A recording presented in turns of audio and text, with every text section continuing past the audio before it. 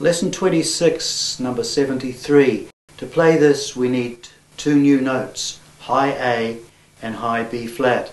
High A is fingered the same as low A, but of course we're blowing with a different embouchure shape to um, take it up the octave.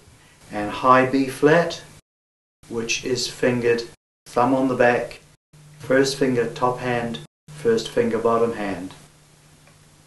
So we go from A to B flat, and this is rather tricky because we are moving in contrary motion. A to B flat. And we need this for Air Show 73.